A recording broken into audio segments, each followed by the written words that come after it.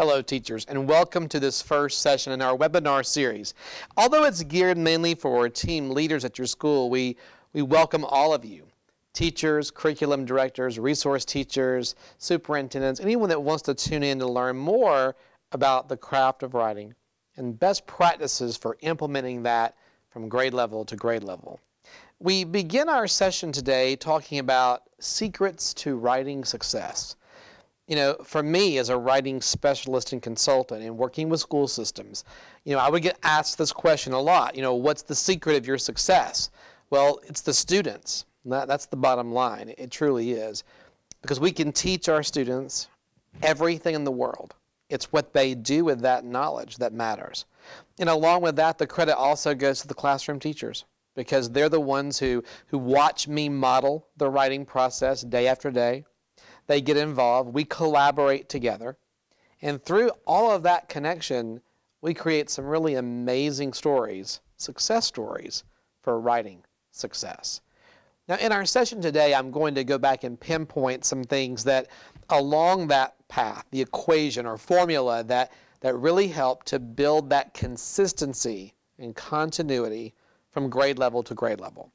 In today's educational world, we're always talking about vertical alignment, a fairly new term that's out there surfacing, but ever so important thinking about how one grade level is preparing the child for the next grade level as we move up, how we can identify strengths and weaknesses in our students and work on those, hone in to develop a somewhat of like an individualized learning plan for a student.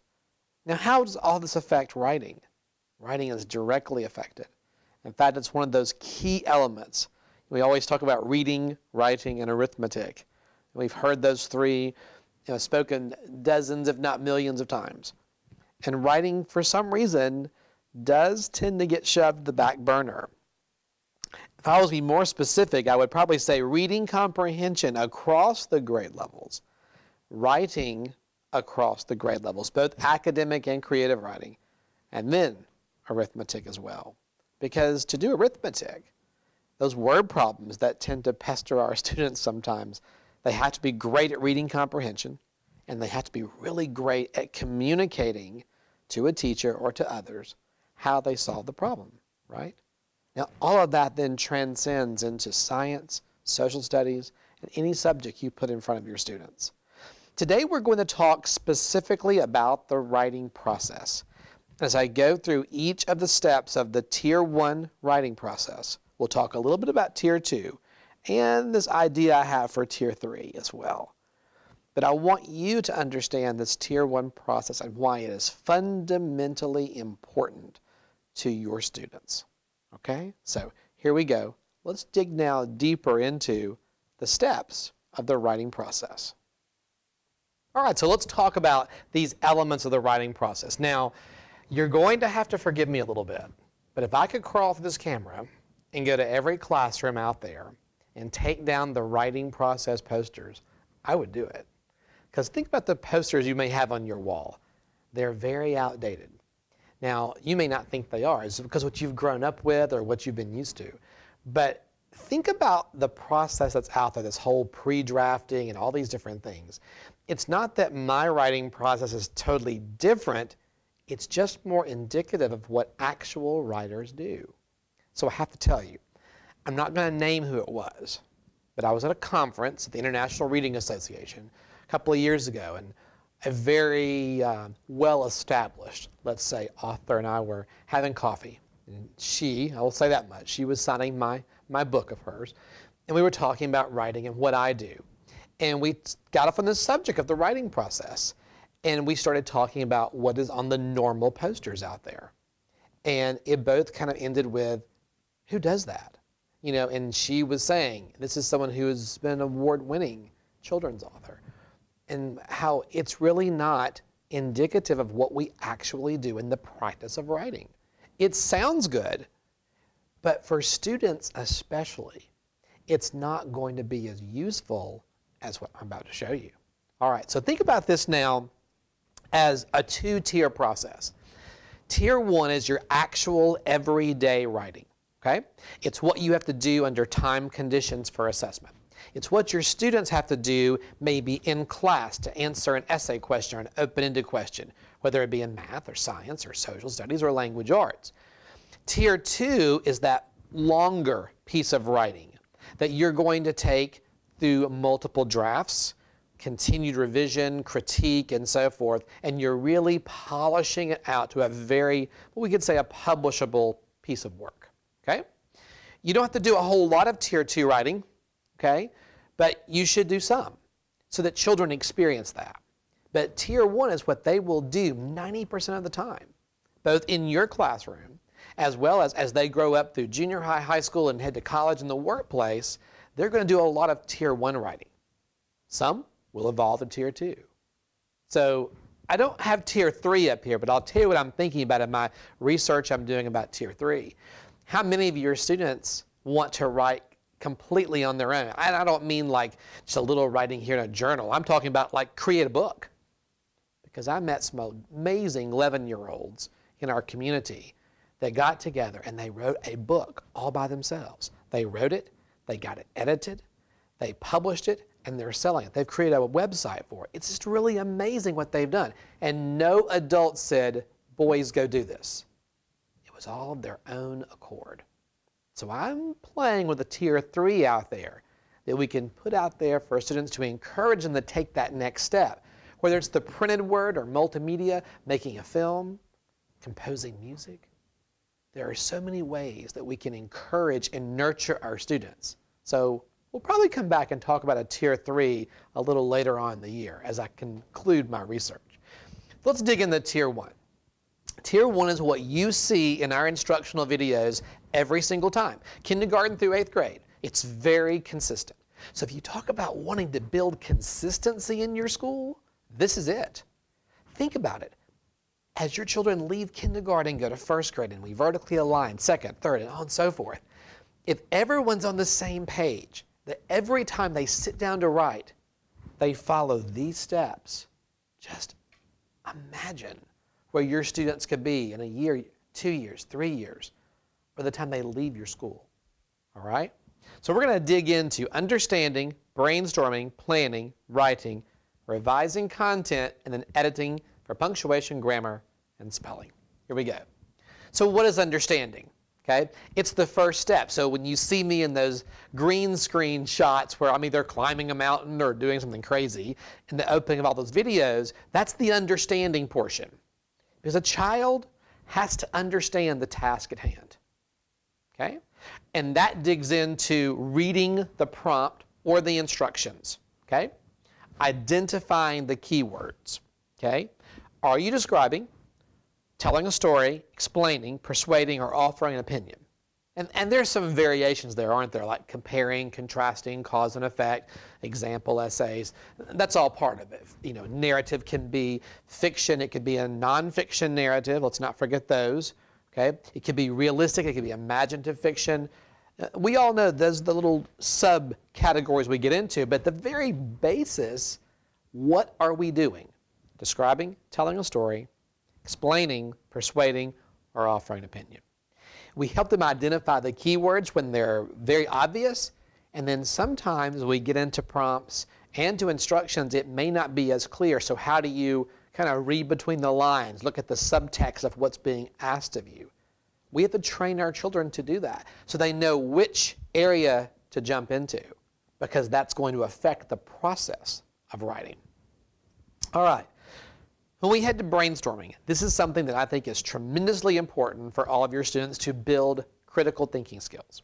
Now, when we talk about that, we're talking about inside the box thinking skills, which are very logical, common sense thinking, as well as out of the box creative thought. Okay? We need more of that. We have a generation of children that can't think for themselves. They want everything handed to them on a silver platter. So we have to teach them to ask the right questions. So here we go. Ask questions to seek information. Now, we all know these questions. They are our investigative questions or reporter questions. Who, what, when, where, why, how. And when you're asking those questions, you're getting information. And in brainstorming, you've got to jot that down. Or you lose it, or you forget about it when you start writing.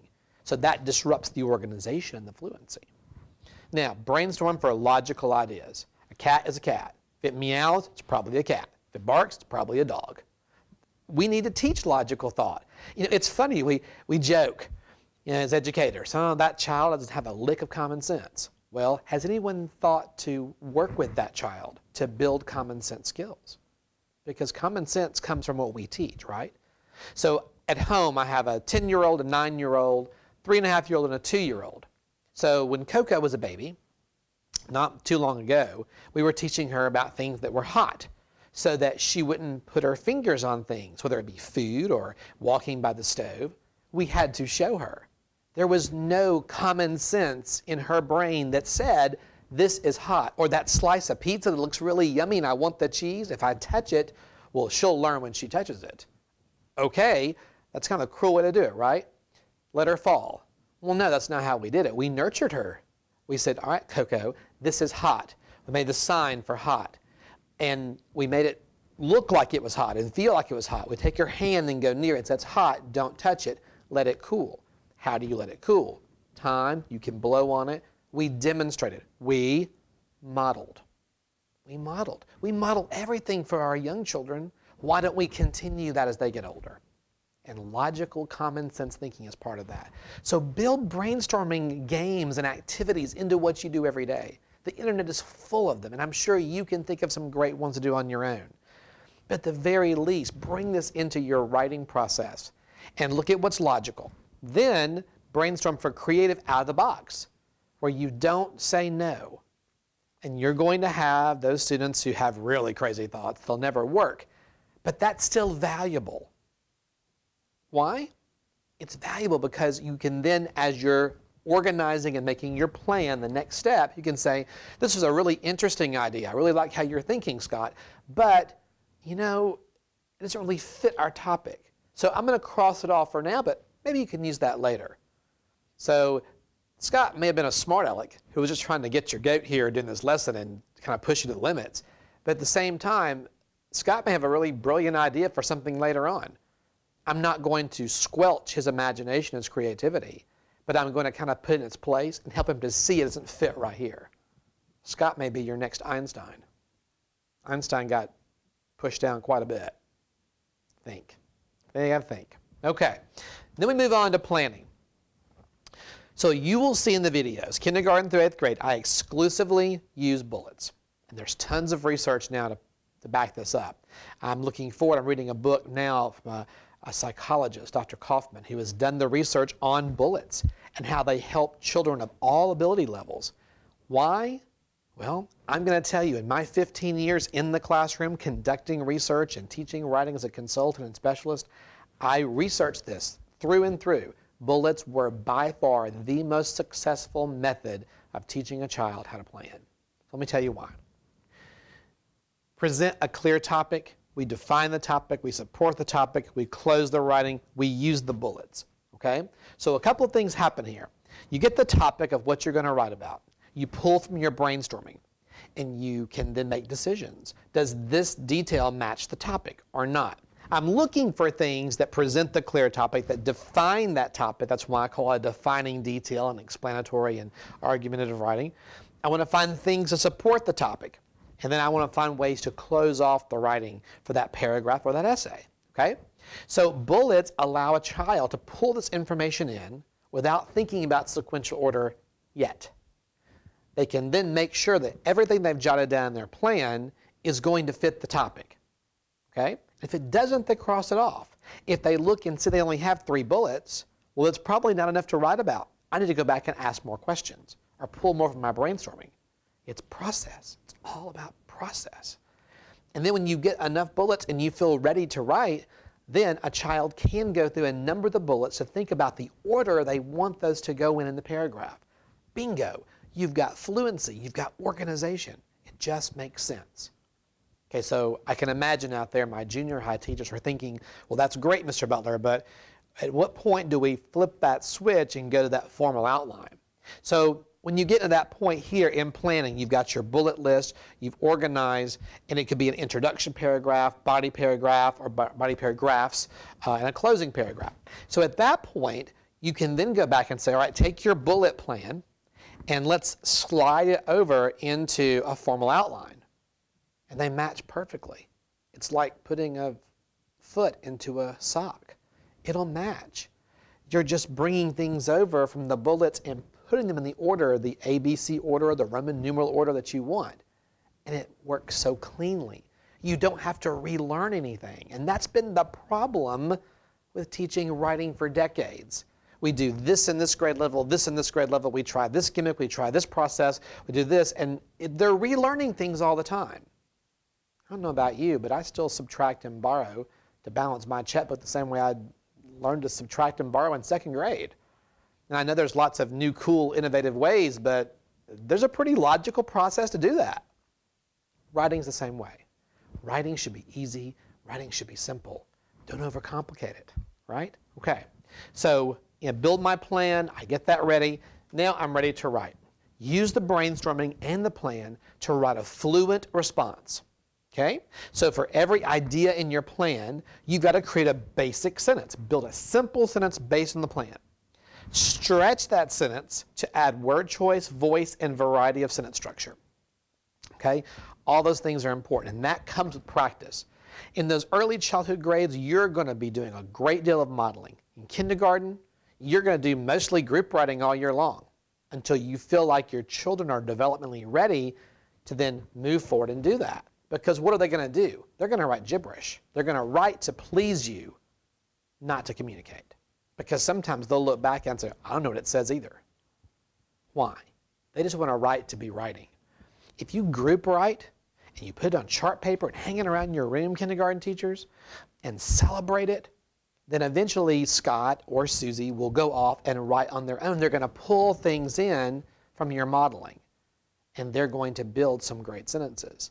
Simplistic, but they'll be communicating, and you'll be able to read it. Okay, step by step. Okay, can't put the cart before the horse. First grade teachers, same thing. They're gonna you're gonna be able to cut those purse strings a little little easier, a little quicker because they're going to be ready to write more. Second grade, third grade, and so forth. You have to determine when you're ready for them to then take the process into their own and write on their own. Okay? All right, so think about the writing as it's never perfect. And your children have to understand that. When I write a short story, I just finished a new short story called Dig 2, and I was limited to 500 words. I had 499 words, including the title and my name and the word by Darren Butler. Okay, I left out my middle initial just to not be at 500. Okay, but I had to really chisel away at this. It started out at 560 words, and I had to chisel it away to get the best piece of writing. No fluff. It was very lean by the time I was done. I'm pretty proud of it. It took time, but the writing is reviewing and revising as you write. Okay, now the next step we talk about revising and editing. So what is revision? Revision, and you can do this while you're writing some too, you're revising content. Content always comes first.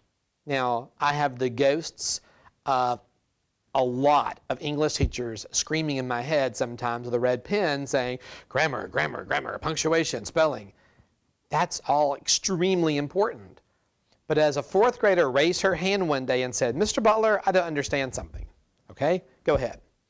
She said, why are we fixing the grammar and punctuation and spelling in something that we're having to rewrite to begin with? Because you're making me change the sentence because it wasn't good, it wasn't detailed enough, so I've written a whole new sentence. What was the purpose of fixing it beforehand? Good point. So let's fix the content first, holistically get it really great, and then go back and work on grammar, punctuation, and spelling errors. For a child, that makes more sense.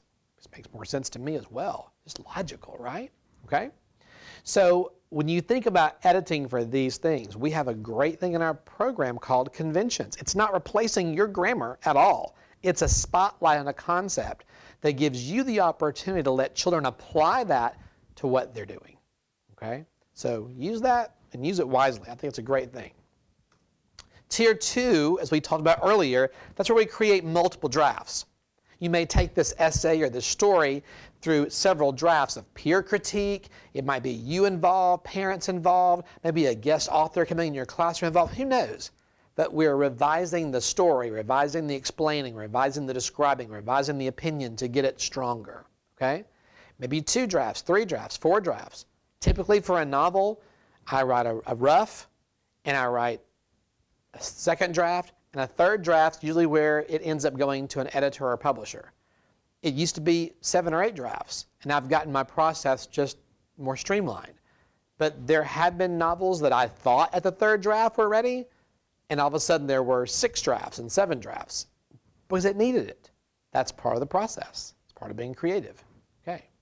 So revise the content continuously to make it stronger edit for grammar, punctuation, spelling as normal, and then prepare to publish or present. So yes, you can print it out and publish it, and that's fine. You also can present it as a, an oral presentation, like a script or a, a scene or whatever. You could do a little short film. You could write a song. Do a multimedia presentation. Open up the doorways for your children to find many different unusual ways to let them present what they've done. And it'll pay off because they'll get really excited about it and about their writing as well. So in creating multiple drafts, take the basic draft and create a new draft to improve organization, style, and voice. Be purposeful in each new draft. Ask yourself, why do I need to create a new draft? What do I hope to achieve? Set some goals. And that's teaching some great life skills to your students. Create goals. Make the goals, try to reach the goal. It's kind of like a personal rubric of where you're going to take the writing. Revise, revise, revise. It's very important. Did you use the best word choice? Is the writing clear and fluent from beginning to end? Did you properly address the question or the prompt? Those are huge things in those drafts to make sure it's just spot on where it needs to be. When you're editing, do that final edit for punctuation, grammar, and spelling errors. We call that line editing to make sure everything is exactly the way it's supposed to be. So when you publish it, you're proud of it. You don't go back and go, oops, I missed that you might want to get somebody else involved a classroom teacher, a parent, a friend who's really good at the grammar and punctuation and spelling to double check. But getting those folks involved helps the child to see that connection with the editing process. Publishing and presenting, we said, you know, publish in a written form, publish in a multimedia format, present in an oral presentation format, present in a dramatic format. And that could be a play, a musical, a song you perform. It could be anything. The sky's the limit, especially in today's world. All right. How does all this affect vertical alignment? Because we kind of touched on that from the very beginning. When you think of vertical alignment, how would you define it to a parent? How would you define that? Well, we are preparing Susie, who's in first grade, for second grade. Here's all the first grade skills, first grade standards, all the goals we're trying to reach. What am I doing to help Susie? I'm probably going to go talk to that second grade teacher, kind of find out what their goals are. How do I make that bridge and blend from first grade to second grade so it's smooth and the learning continues, that it's not compartmentalized, okay? That it flows and fluent. So with regard to writing, it's the same thing. When Susie leaves the first grade, what are her strengths? What are her weaknesses? What are the standards she missed in first grade that she didn't quite get up to snuff on? What can we do in second grade now to correct that, add to it? Because Susie's getting older. Her writing is growing. It's, it's not a one size fits all sort of skill. Everyone develops a little differently in this.